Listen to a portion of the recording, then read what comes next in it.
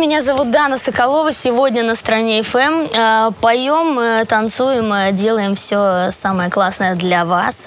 Смотрите, подключайтесь к нам. Значит, уже от зубов отскакивает вот эта моя любимая информация, что музыкой я занимаюсь с 6 лет. Конечно же, вся эта с детства история со мной просто в меня влита с молоком матери. И на данный момент мы играем альтернативный рок в одноименной группе Дана Соколова. Э, собственно, радуем, радуем слушателей. Самая сильная песня? Ну, наверное, «Индиго», конечно. Ее все такой как бы признали.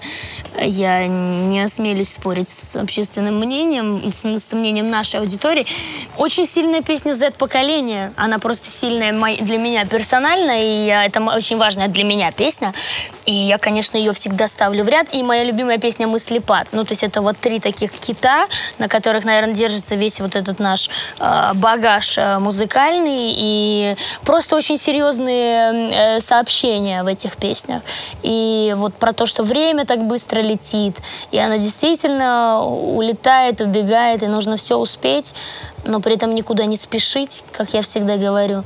Ну, то есть вот такие очень серьезные вещи, и то, что в мире очень много реально говна, и нужно с этим справляться, и нужно быть сильным, и нужно как-то держаться, справляться, вот это все. Ну, а Z-поколение просто очень личная песня, такой э, мощный перезагруз время у меня был, в том числе связанный и с отношениями, из которых я вышла, тоже такой, э, такая история, да, тя тяжкенькая, вот. И, ну, да, да. Значит, э, кровью обливается мое сердце, когда я слышу то, что сейчас, э, то, что, то, что сейчас производят, э, к сожалению, в мире музыки, вот так называемая современная музыка в России, не знаю, в мире. Ну, очень подпорчена эта вся история. Я печалюсь всякий раз, когда бедные дети взращиваются на том, на том, что сейчас играет из каждого утюга, хотя я приверженец олдскула, стараюсь э, э, как-то как-то и своей аудитории транслировать то, что нужно все-таки давать дань классике, уходить к истокам, потому что хорошая музыка, она вся, ну, она в большинстве своем вся сделана была уже задолго до нас, и э, я не вижу, не вижу никакой проблемы в том, чтобы слушать сейчас то, что там выходило и 20, и 30, и 40 лет назад. Что касается того, что сейчас играет э, везде, ну, это грусть, это просто кровь из ушей, это печаль, беда, тоска, с этим нужно что-то делать. Я отчаянно борюсь э, с этим, потому что осмелюсь все-таки все-таки сказать, что в моей музыке побольше смыслов, чем, э, чем сейчас во многом что выходит ну, как-то... Я, я вообще очень про смыслы, очень про энергии, то есть во всем должен быть месседж, посыл, то есть все, что ты говоришь, это а, обладает а, априори огромной силой, это все транслируется в космос, ну, то есть ты не можешь брать на себя грех, а, такой грех, а, там, как, а, например, сквернословие или ну, я говорю конкретно про про песни, да, то есть у нас сейчас в современном мире, скажем так, очень много, ну, очень много говнеца, что там говорить.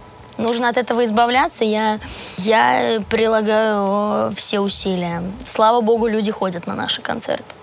Их становится каждым, каждый раз все больше и больше. Это меня не может не радовать. Я, э, я с ними разговариваю на хорошие темы. Я сказала ранее про, да, нецензурную лексику, про какое-то сквернословие. Грешна у нас есть действительно одна песня, но опять, у нас есть одна песня с использованием как раз-таки, э, что называется, таких не самых мягких слов. Но, опять же, это же все э, в смысловой, если находится какой-то одной политики, линейки, то есть э, это не просто выкрики какие-то матные, там, непонятные, совершенно неуместные. То есть если это сделано вкусно, стильно и без какого-то слова реально не обойтись, то, конечно, это одна история. Другая тема, когда ты, э, когда ты считаешь, что твоя миссия как раз-таки зацепить э, детей, ну, то есть посягнуть на святое, на то, чтобы приложиться к воспитанию молодых, совсем не сформированных э, умов э, и просто вселять э, в головы э, какой-то какой откровенный бред. Э, ну, я не знаю, вот пока я жива, пока живы мои песни, я буду делать все, чтобы просто э, говорить с людьми, в том числе со сцены, своей музыкой, о том, что это неправильно. Музыка это, это что-то, что находится вот там. Это, ну, изначально это субстанция, которая воздушна, которая прозрачна. Э, это что-то волшебное, что-то, ну, что-то вот наряду действительно с каким-то ну, световством, не знаю. Я, я не буду комментировать про Моргенштерна, я просто не хочу никого обижать. Э, ну, мне кажется, что э, когда у человека есть четкая, конечно, позиция, это круто, когда человек является какой-то, э, там, я не знаю, сформированный, возможно, может быть, еще на пути к, к формированию. Э, когда человек является личностью так или иначе, ну, мы не можем отрицать тот факт, что человек успешен в своем роде, в своем жанре, в своем стиле. Но это просто не моя история. Я, у меня просто другое отношение с детства к музыке. Мне, слава богу, привили родители. А, вот это такое действительно уважение к звуку, уважение к красивым тембрам, голосам. То есть это же история не совсем про э, моду. Ну, ну это, это как вот и как и, в принципе, там, в одежде, например, то же самое. Есть стиль, есть мода, которая она сегодня есть, завтра нет. То есть это все одноразовое, это все музыка-жвачка. Ее завтра не будет. Ее не будет, может, ну не завтра, через месяц, через год, через два года уже все забудут, что это. А понимаете, ну, Фрэнка Синатру мы знаем все, до сих пор сегодня все слушают. Все, кто шарит, ну, как бы в музыке. Я как человек с высшим музыкальным образованием, просто я вот об этом тоже люблю, конечно, поговорить. Ну, меня это просто задевает, конечно, потому что э, круги, в которых я общаюсь, у нас не принято упоминать именно такие, как Моргенштерн в Суе, например. Это совместная командная работа. Я просто благодарна вообще и руководству, и всем, всем членам своей команды. А, вот в частности за то, что как раз-таки я не говорю ни плохо, ни хорошо, я просто, ну, э, у меня просто немножко другая ситуация в голове по жизни. И я прекрасно понимаю механизм работы компании, я прекрасно понимаю структуру вообще любого лейбла, ну, примерно, да, то есть за пять лет нахождения, э, собственно, как раз-таки на лейбле, являясь участником его, я прекрасно понимаю, э, что и как движется, но э, есть вещи, наверное, которые должны стоять особняком.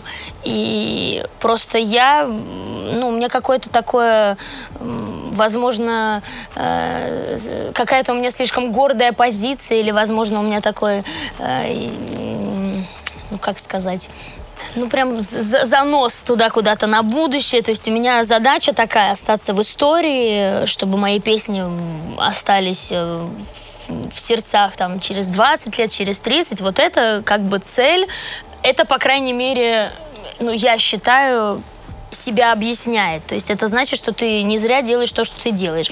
Делать что-то, опять же, в музыке, чтобы, чтобы просто сейчас там на каком-то хайпе, э, быть в каких-то трендах, э, быть в каких-то чартах, э, чтобы через год этого уже не было, но зато ты сейчас, да, на волне и так далее. Ну, как бы это кто, кто что выбирает. Вот что касается лейбла, это, конечно, серьезная, серьезная поддержка, серьезная помощь. Это необходимо, я считаю, потому что все-таки это такая огромная машина, которая, наверное, ну, легчит этот путь. Не уверена, что что э, счастье, конечно, для артистов в том, когда ему что-то там навязывают и, и пытаются из него что-то слепить. Вот в этом мы, конечно, совпали с ребятами, и слава богу ну, опять же, кто что выбирает. Кому-то только дай, чтобы э, чтобы за человека что-то придумали, придумали ему какую-то концепцию, навешали на него какой-то ну, образ, я не знаю, и вот запустили этот. Это тоже имеет место быть, просто разные задачи и разные какие-то, не знаю, разные функции у таких проектов.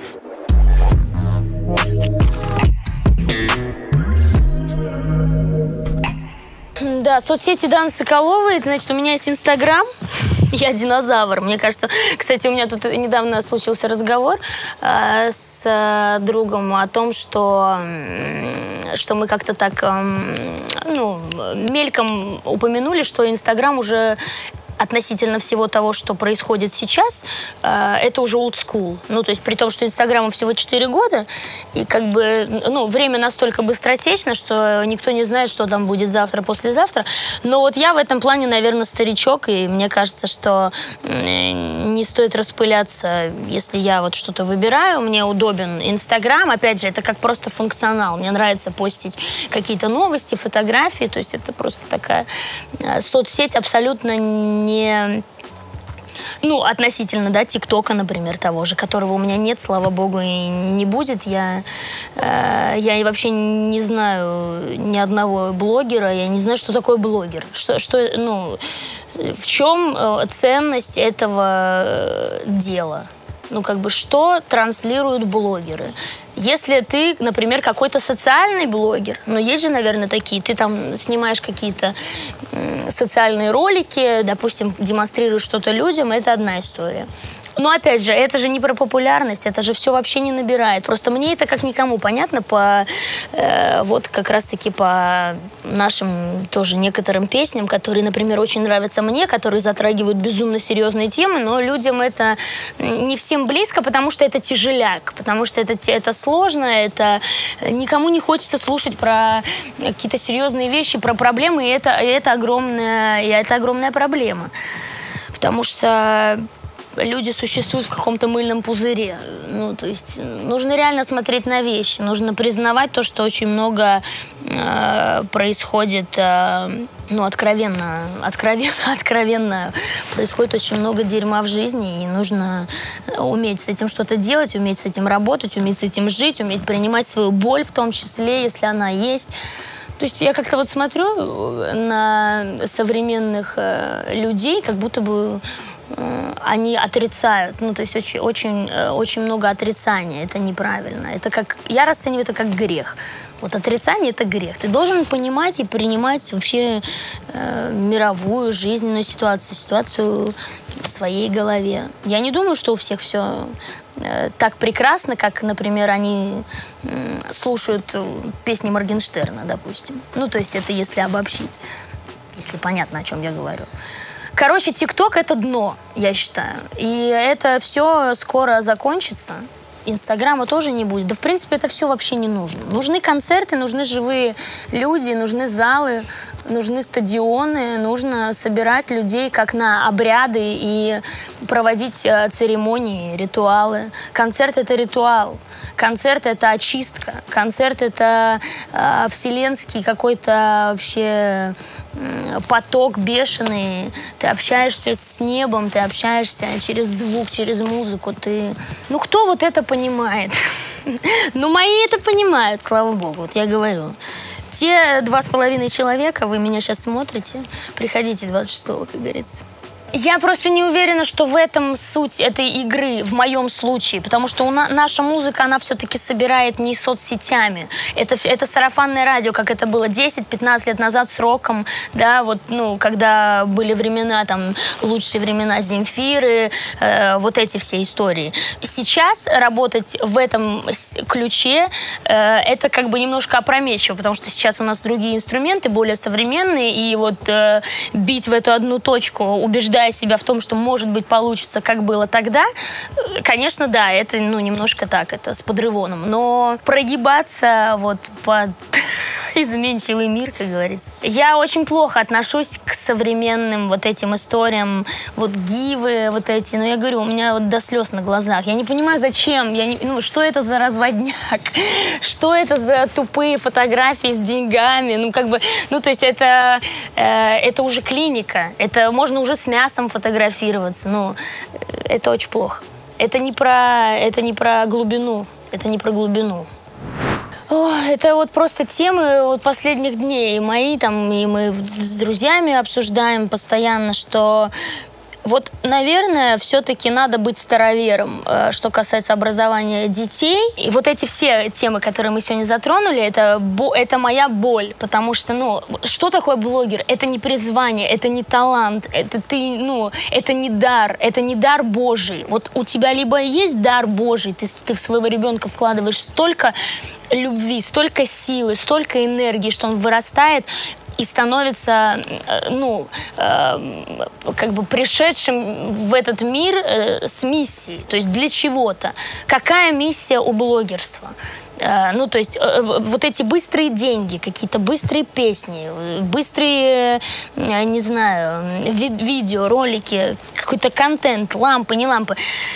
Это просто печалить. Я не знаю, у меня даже слов нет. Я, я старовер, я считаю, что дети должны э, расти на площадках, в песочницах. Я считаю, что в руки не должен попадать телефон до, э, там, ну вот, до хотя бы возраста, в который, в который он попал в руки ко мне. Там, я, я вот, человек, который, слава богу, спасибо моим родителям, я помню пейджеры, я помню бобины, я помню, при том, что я человек не Советского Союза, но при этом вот как бы это огромная разница. Почему, если ты можешь сегодня воспитывать своего ребенка в парниковых условиях, давать ему слушать крутую, правильную, качественную э, музыку, если ты можешь ему э, внедрять в голову, что литература это круто, что читать книги это круто, что учиться это круто, Слава богу, у меня есть друзья с детьми, э, с интеллектуальнейшими детьми, которые я вижу там ребенку э, уже там, не знаю, 8-9 лет, он цитирует Бродского, он... Э, он, он совершенно уникален, он занимается профессионально каким-то спортом, там, кто, кто чем. Ну, то есть вот, э, вот двигатель прогресса. А вот это все, это деградация. То есть если ты недалекий родитель сам по себе, если ты тоже при ребенке, естественно, там залипаешь на какие-то ролики, участвуешь, не дай боже, вообще в каких-то гивах, пишешь комментарии, я с ребенком получаю 30 тысяч в месяц, э, как бы мне нужен для этого только телефон, там что там они пишут все. И это уже все, это билет в один конец. У тебя дети просто вырастут э, безмозглыми и это все в твоих руках. То есть вырастить в ребенке человека, человека с мозгами, с интеллектом, э, разви развивающегося, развитого, знающего, что такое хорошее, что, что такое плохое, с хорошим вкусом и так далее. Ну, это, это все однозначно староверские все э, примочки. То есть это э, детская площадка, песочница, нормальное хождение в нормальную, там, э, в сад сначала, потом в школу. Ну, то есть все как это было вот тогда. Так же, как и в музыке. Если ты хочешь сделать хорошую музыку, послушай, что делали тогда. И не важно, что э, сейчас вот все говорят, что это не модно. Но мне вот плевать, модно это или не модно. Зато это круто. Мы ориентируемся на моду. Но у нас все печально, если мы сегодня ориентируемся на моду, а не на стиль. Это очень плохо. Я прям злюсь. Ну, как-то так вышло, что что-то последние уже пять лет у меня нет сверстников в окружении. И я совсем не огорчаюсь по этому поводу, потому что...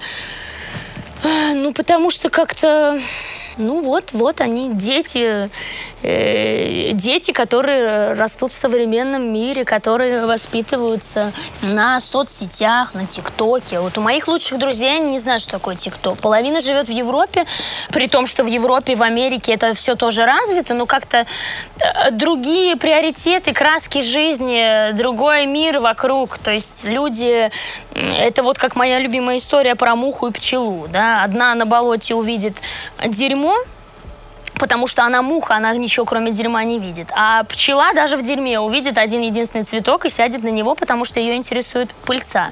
Если ты сегодня ориентируешься на, ну, что ничего нету в мире, кроме ТикТока, почему нельзя? Вот у меня нет ТикТока, я прекрасно себя чувствую вообще. Просто замечательно. Я бы удалила Инстаграм, просто это единственная платформа, с которой я могу транслировать э, и рекламировать свои концерты в том числе.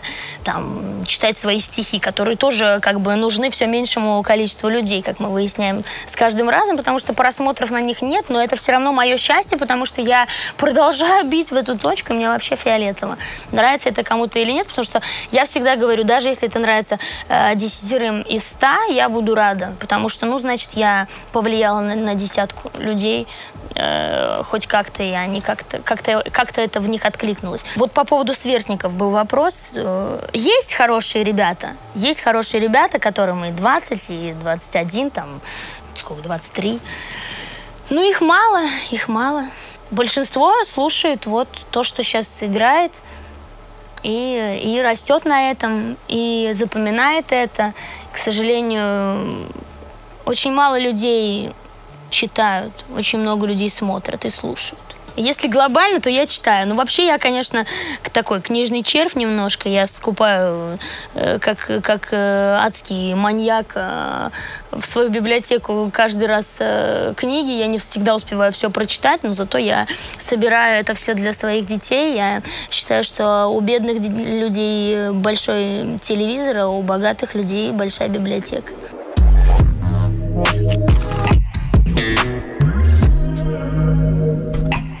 Вот у меня одна единственная песня, которая написана полностью мной, это относительно новая песня «Свои города». Это, конечно, вообще другая песня. Ну, то есть э, писать э, стихи, поэзию, это все-таки, ну, про литературу. То есть ты садишься, ты как-то там э, компонуешь свои мысли, ты пишешь конкретно, ну, стихотворение, то есть четверостишьями. То есть ты пишешь одно стихотворение, оно может быть длинное, оно одинаково, у него там там темпоритм, все четко.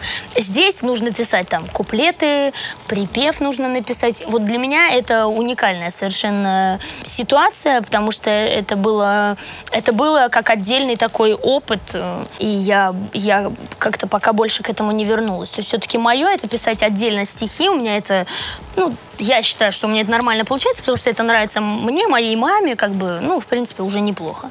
Писать песни это это легче, наверное. Но мне сложно все, что легко. В последнее время я вообще сажусь и э, себе говорю, что я хочу написать стих, и, как правило, так и получается, что если я хочу написать стих, я его, скорее всего, напишу. Но у меня очень много вот э, каких-то черновиков, кусочков написанных отдельно. Это вырвано, как правило, из контекста, э, из контекста, который у меня в голове. Ну, то есть это не, не образованные в одно произведение тексты, маленькие такие куски. И я сажусь и что-то из этих вот рыбешек собираю в один какой-то э, какой-то такой рисунок. О, мое внутреннее состояние всегда отражает э, мой такой, наверное, один из главных первых э, стихотворений. Одно из главных первых стихотворений, один из главных стихов. Да, оно называется «Дока», оно достаточно длинное. Да, согласна, что сердобольно, но часто злюсь. Что много делаю, сколько возраст не изменяйся. Что причитаю гораздо чаще чем молюсь. И никаких тебе кайся, бейся и извиняйся. И начинаю, что я здесь, в общем-то, не шучу стою, как накрывают прибрежные мысли и бла-бла-бла. Почему я сейчас так чудовищно много чувствую, когда раньше и вовсе чувствовать не могла. Да, я верю в глубокую силу на высоте. Говорить о душе это можно со мной бесконечно. Но если ты человек, что находит изъян в красоте, не сойдутся пути наши вместе во веки вечные. Да, я верю отчаянно в магию и в чудеса. Если двое, допустим, живут на одном континенте, то увидеть все можно лишь посмотрев в глаза, как в любом самом важном и самом сердечном моменте. Я люблю пошутить, мол, кому это все сдалось, и люблю получить беспринципное «я скучаю». И люблю, когда спросят, как мне сегодня спалось. Я тот самый счастливый, я времени не замечаю. Я точно умею складывать в рифмы слова, и умею реветь но редко использую слезы. А еще я могу схлопотать по сюжету 2 за то, что такое должно быть написано прозой. Еще я умею биться всем чем об заклад и яростно приговаривать, ну смотри же. Часами могу редактировать свой доклад о том, как на самом деле грязно в Париже. Могу что угодно спеть до четвертой октавы и даже могу без воды съесть один перец чили. И, кстати, стишков знаю столько, что что вы, куда вы но больше меня ничему и не научили. А сейчас, как по мне, обострилась вот дерзость речи, от того и слетели все бабочки на свечу. На любой из критических взглядов вам не отвечу. Тигры бабочек не едят, так что промолчу. ворвался поэт. Я обожаю э, Верочку Полоскову, конечно же. Я на ней, я на ней начала эту всю историю, друзья мои. Э, я обожаю, у меня друг мой драгоценнейший просто экземпляр в списке моих друзей. Это Женечка Соя. Это очень крутой современный автор. Э, просто невероятные, невероятные стихи. Очень люблю Аню Кукушкину, очень круто пишет. Мельникова очень круто пишет, Дана Сидерос очень круто пишет. А, ну, Быкова можно назвать современником? Наверное, да, в одно время живем. Конечно, Быков — это просто колоссальную роль э, вот эти ребята исполняют. Сейчас в современной поэзии, я считаю, это мой субъектив, э, но это стихи, которые я перечитываю днями, ночами. Иногда это спасает меня от страшных ситуаций от страшных мыслей. Восхищаюсь людьми, которые понимают что-то в поэзии. Я обожаю встречать людей, которые мне рассказывают, что они ходят на поэтические вечера, что они кайфуют, слушая поэзию, и они... И пока я это все вижу, это значит, что мир еще не совсем на, на дне, не все потеряно. Это правда восхищает, потому что люди должны читать, люди должны э, читать э, стихи, просто читать. Но стихи — это просто моя отдельная любовь, потому что я сама пишу стихи. И, конечно, все, что связано вот с этой темой, это меня будоражит всегда. Но, слава богу, есть люди, которые любят. Которые любят.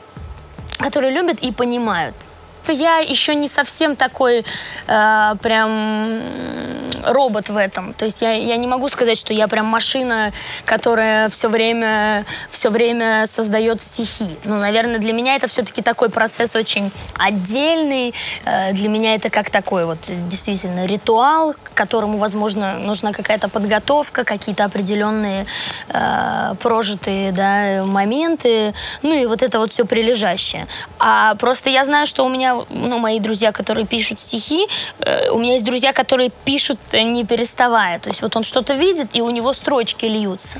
Наверное, это все-таки вот, ну, э, ну, разные да, категории поэтов. Если у меня отобрать э, ручку и листик, я просто петь начну. А так как бы... Ну, не пропадем, не пропадем. Если петь, то танцевать можно начать, ну и там как бы по списку.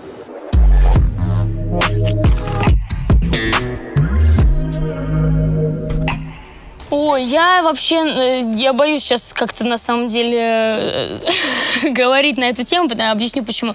Я в последнее время все чаще э, себя погружаю в ситуацию какого-то крутого тренинга индийского, какой-нибудь такой, не знаю, випасаны, когда ты просто живешь и тебе действительно вот ну, вот какой-то минимум, да, на какую-то там, ну, как, это, это дрессировка, то есть я просто тренирую себя, не то, что я себя в чем-то ограничиваю, нет, я человек, любящий комфорт, я э, достаточно хорошо живу, ну, относительно, да, как бы, ну, мне кажется, относительно ситуации, то есть э, есть люди, у которых похуже дела. Я не фанатик, то есть я считаю, что во всем должна быть мера. Я недавно набила себе татуировку, э, это одна из моих любимых притч, э, краткое содержание, воспитание это как то, что когда к старику пришел молодой человек, у которого ничего не было, он, э, он сказал, старик, вот вообще, что происходит у меня в жизни.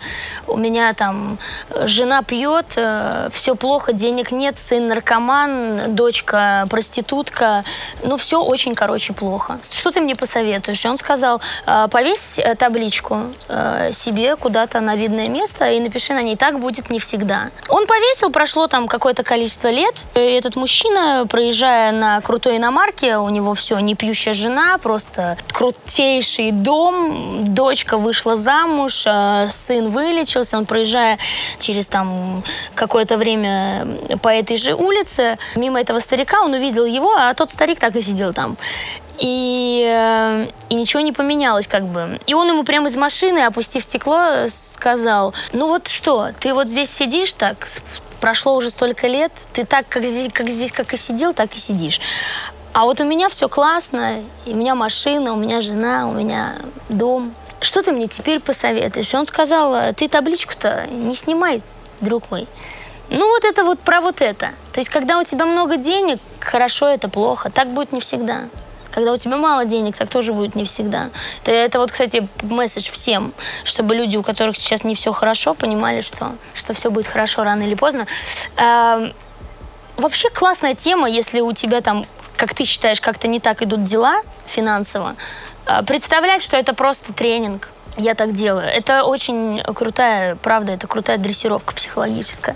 Если ты умеешь жить без денег, ты всемогущий. Вот и все. Вот я, у меня были времена, правда, вот сейчас особенно как бы времена пандемии, вот это все. Ну, я прям, прям, я не знаю, я похлопала себя по спине, сказала, слушай, вообще, можем. Ну, просто когда ты понимаешь, что, что в принципе можно и так, ну, наверное, это классно. Потому что тогда ты сможешь по-любому. Да, я верующий человек. Я верю, я верю в себя, я верю в Бога, я верю в родных и близких, я верю вообще в своих, э, в своих людей, я очень верю. Я верю в свою музыку, я верю в адекватность, я, я верю в людей. Я, я, блин, верю в людей, кстати, иногда очень зря на самом деле. Но я продолжаю верить. Это как вот на самом деле верить в любовь, потом встречать какого-то не того человека, расходиться с ним и вот я хочу сказать, что не нужно переставать верить в любовь после этого. Любовь есть, просто вы, скорее всего, встречаете не тех людей. И в людей надо верить. Просто когда они те, э, вы сразу поймете. И вот в них как раз надо верить. Вот я в них и верю, которые рядом со мной. А это те два с половиной человека, мы помним, которые вот я, которые ходят на мои концерты. Я шучу.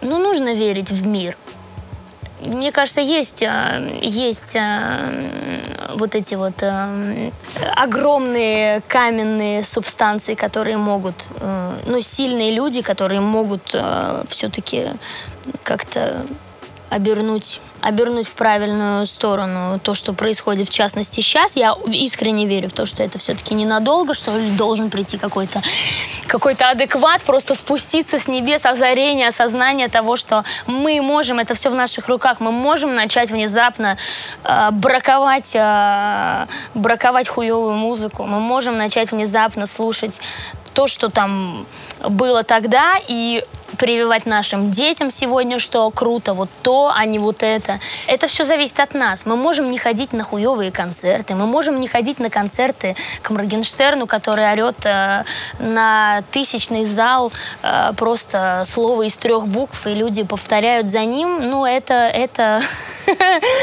это клиника.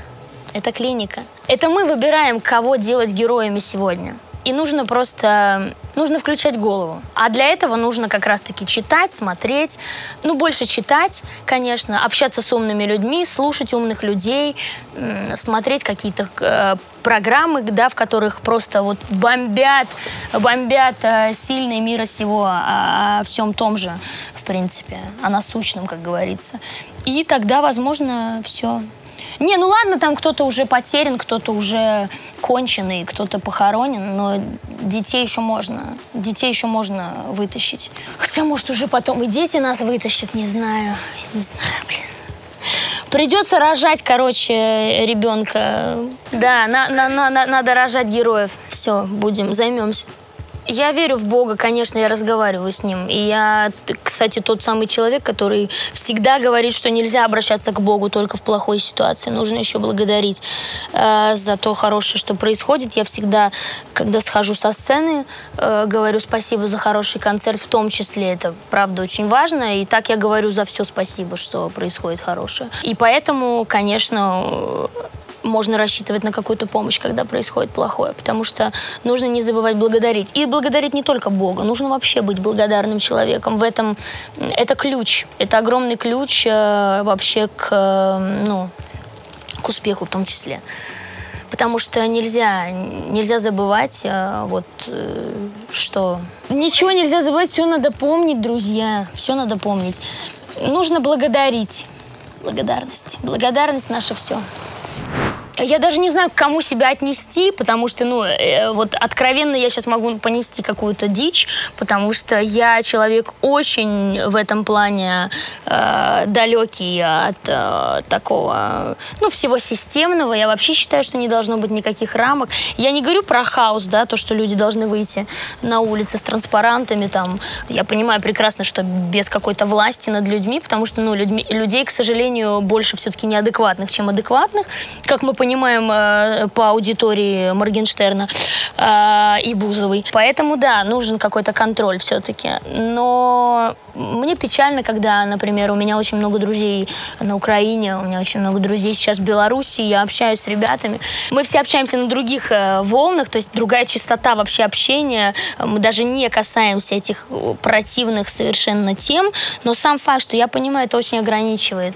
Это очень ограничивает очень много процессов, это мешает какой-то э, какой-то лишней дороги, да, туда-обратно, вот, что мы не видимся, там, например, на Украину, нельзя так просто взять и полететь, и оттуда тоже вот, ну, как-то то, что сейчас происходит в мире, закрытой границы, я не могу полететь домой, уже год здесь сижу, вообще не знаю, как я маму не вижу год, ну, то есть это все печально, а это все политика, эти все вирусы, это все политика, ну, как я могу к ней относиться? Конечно, я плохо к этому отношусь.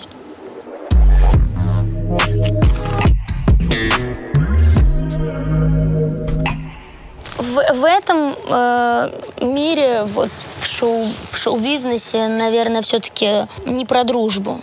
Очень много людей, которые просто здесь за, за своим куском за каким-то хайпом. Никому не нужна такая, ну, это дружба. Ну, то есть дружба это, это когда ты манную кашу ел с человеком вместе, э, у тебя сопли текли, вы там подтирались друг другу э, ладошками. Ну, как бы, о чем мы говорим? Здесь это вот это привет, пока, иногда даже без приветов.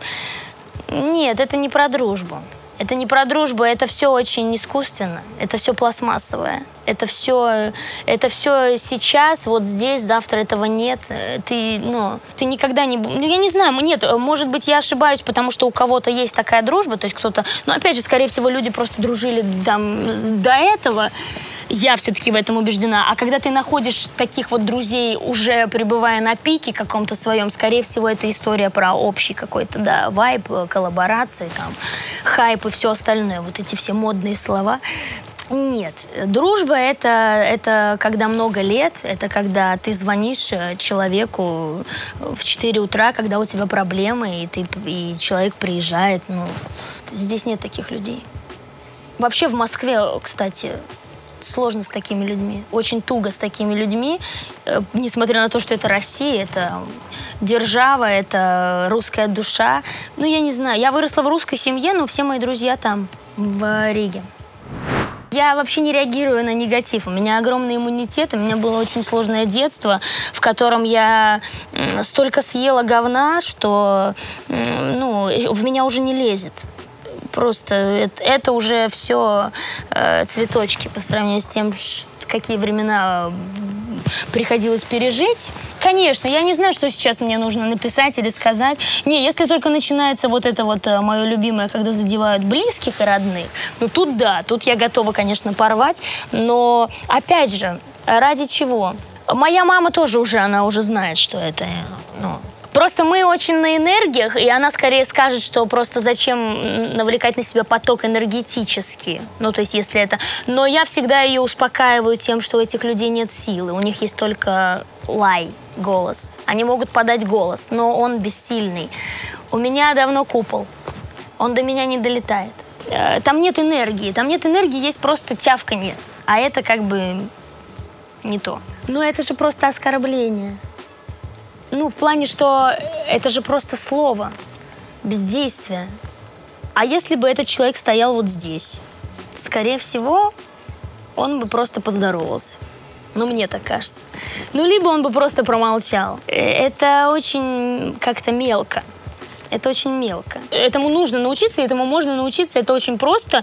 Э, нужно проводить, э, ну, вот эти вот какие-то такие внутренние тренинги. Это в том числе чтение, это чтение каких-то психологических, не знаю, э, книг, каких-то пособий. Это всячески, не знаю, да сейчас, вот я говорю, у нас э, мы говорим о современном мире. Вот опять же, прекрасная площадка YouTube, очень много разных программ классных, очень много полезных интервью, очень много полезных э, каких-то тренингов, подкастов. Э, можно послушать прекрасную тетю а, Наталья Грейс, ее зовут. Очень крутая, крутая личность.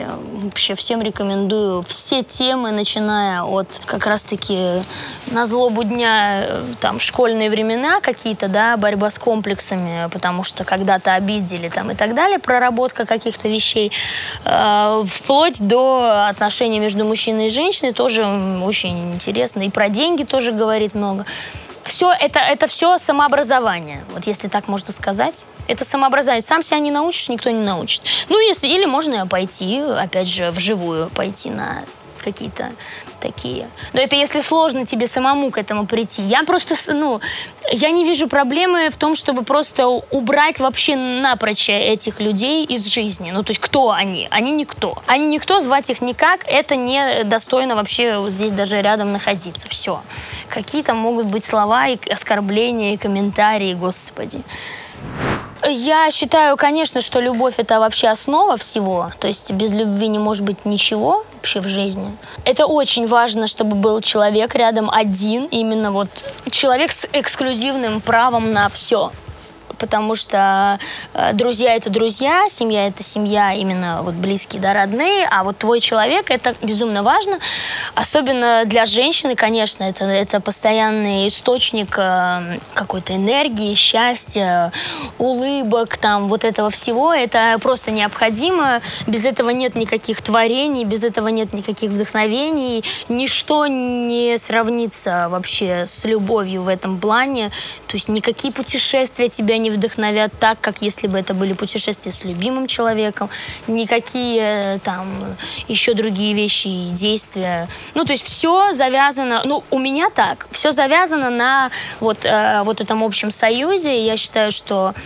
ну, я просто, со мной достаточно сложно, мне кажется, я очень э, непростой э, вообще для жизни человек, не самый удобный, не самый такой э, покладистый и податливый, не самый мягкий, но зато если я люблю, то я люблю очень сильно, я умею любить, и и, наверное, я люблю так, что можно закрыть на какие-то мои всплески глаза.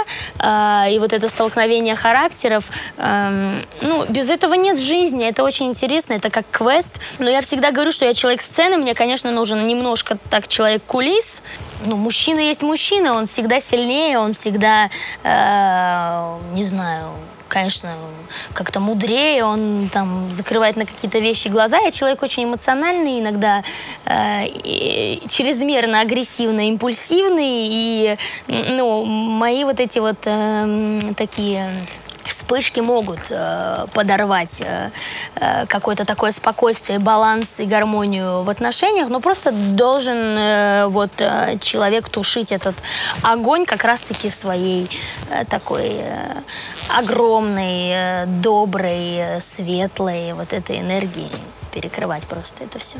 Да, да, да. Ну, нужно же уметь вот это вот э, где-то погладить по голове и, значит... Ну, кстати, вот я... Это я сейчас так говорю, это я кокетничаю. Меня попробуй погладить, когда я уже с пеной у рта и с дымом из ушей.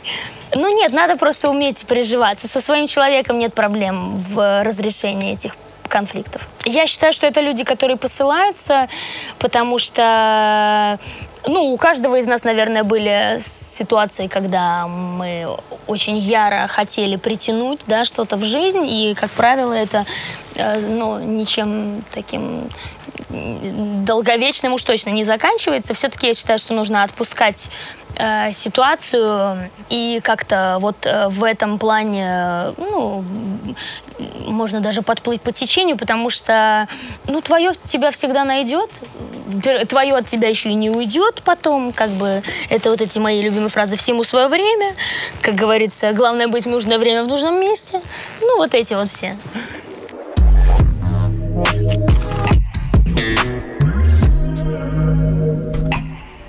Блин, мне уже сейчас станет страшно, потому что у меня на каждый вопрос э, набита фраза на теле. Это вообще, э, э, это, это, это вообще сильно это, это говорит о моих психических расстройствах?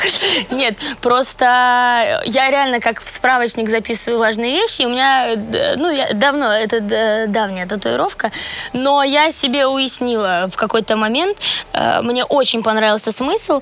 Э, она набита на английском, но на русском она звучит так, что Однажды я увидел пчелу, тонущую э, в меде, и я понял, что это, это законченная фраза, и я понял. Это значит, что нигде не должно быть перебора.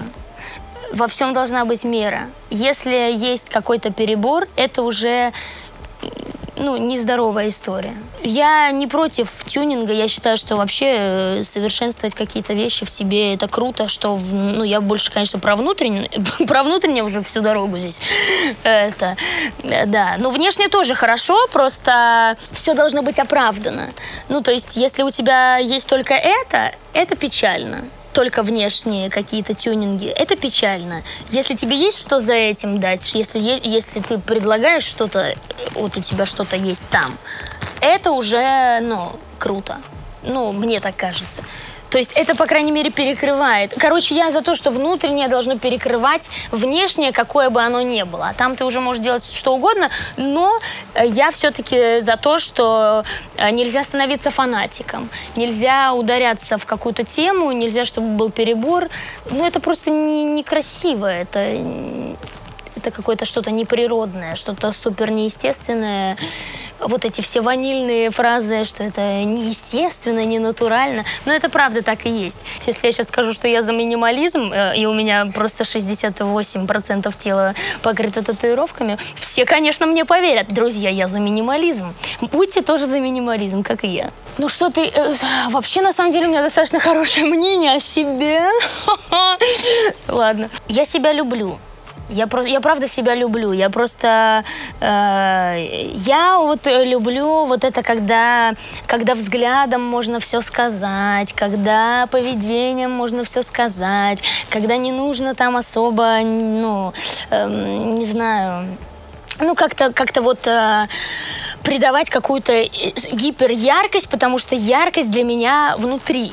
Ну, это просто я так живу, я такой человек, но я при этом не навязываю никому свою позицию. Я все-таки считаю, что у каждого человека свой вкус, свой выбор. Это, это все очень ну, индивидуально. Но просто лично я вот люблю, когда, э, когда ну, как-то не нужно ничего, не нужно выпрыгивать из штанов, чтобы что-то кому-то доказать, потому что, в принципе, все очень хорошо и так. Все очень красиво, сексуально и круто, потому что это, это все про, про глубину, про насыщение. Ну, наверное, не про визуал.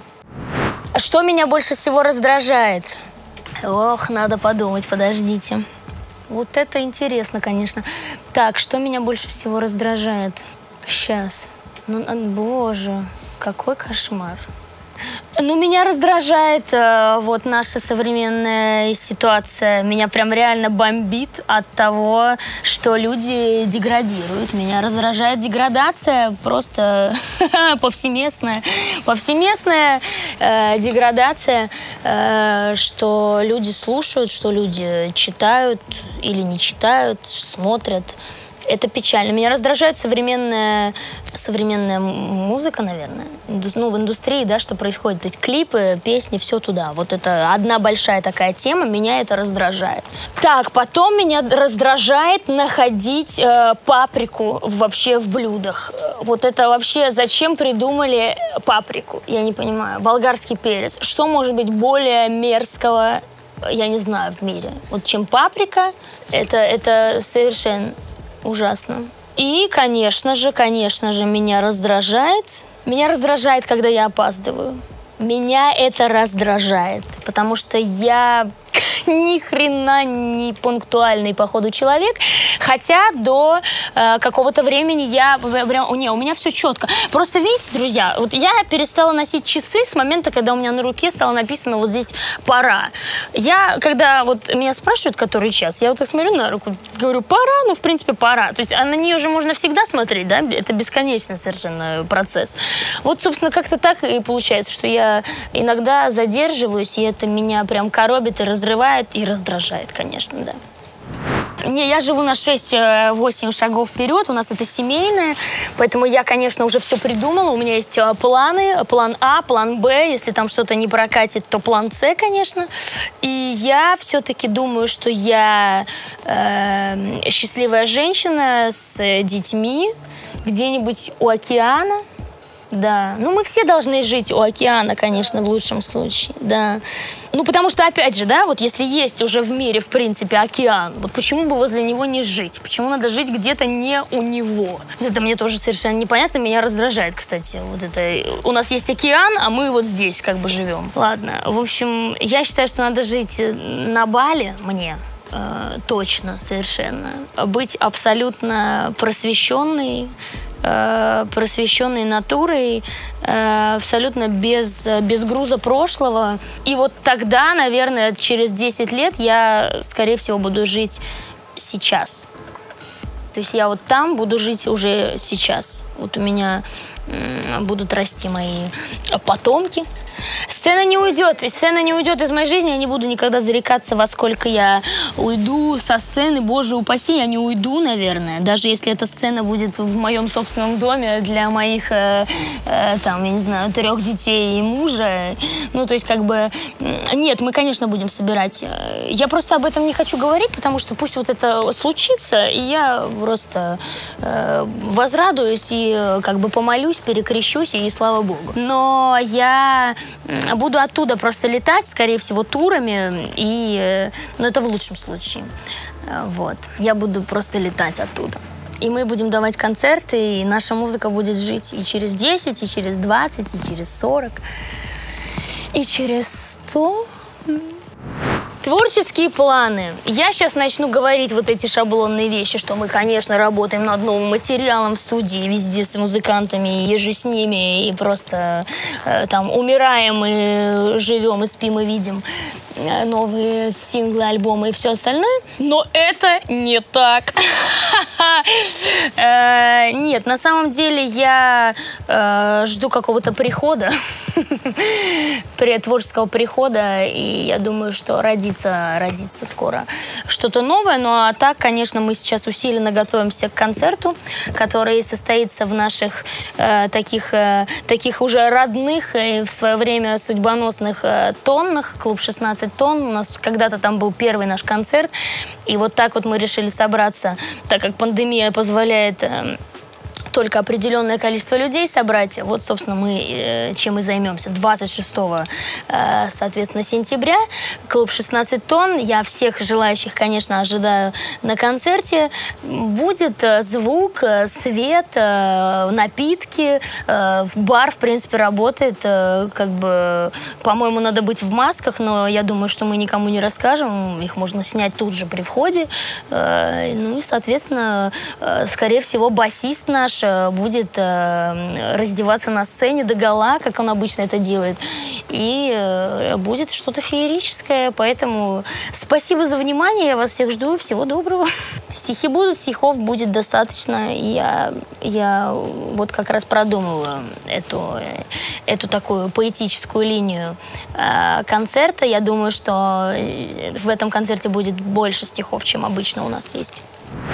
Самое главное в жизни, друзья, это мозги. Это мозги сто процентов. Когда есть мозги, есть все.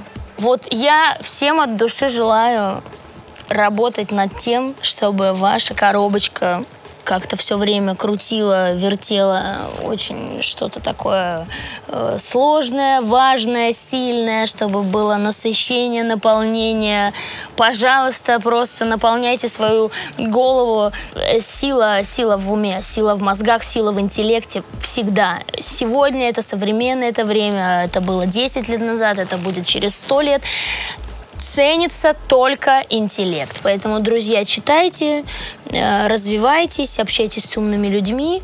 Э, желаю всем э, света и тепла, улыбок, солнца и добра, и засияет над нами всеми, собственно, лучи луч, лучи засияют, луч засияет, свободы, счастья, я не знаю.